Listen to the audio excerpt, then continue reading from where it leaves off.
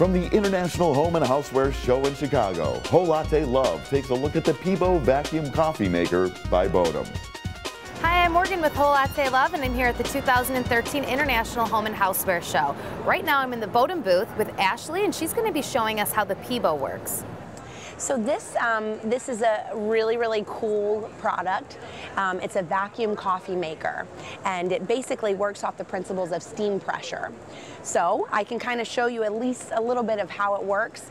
Um, down here in the bottom globe is where your water goes. Up here in this top globe, we're going to place some coffee in there.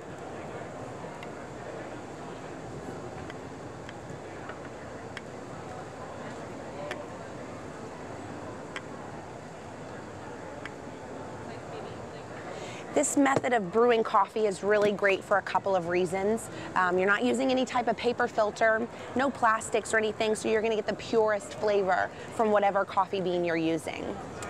So we're gonna place this top jug directly on here and put our lid on. We're gonna put it directly on a heating source.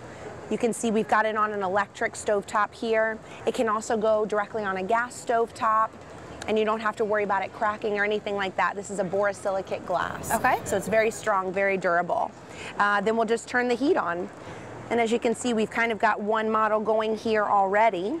What's gonna happen is basically steam pressure builds up in the bottom globe and the water starts to rise and it starts to mix with our coffee grinds up in the top globe. That's when the brewing process actually starts to happen.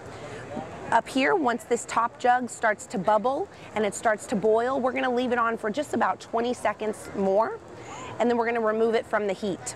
Once we do that, the coffee actually starts to settle back down into the bottom globe, and then you take the top off, and you're ready to pour and enjoy a nice cup of coffee. Wow, that's amazing. Thank you, Ashley.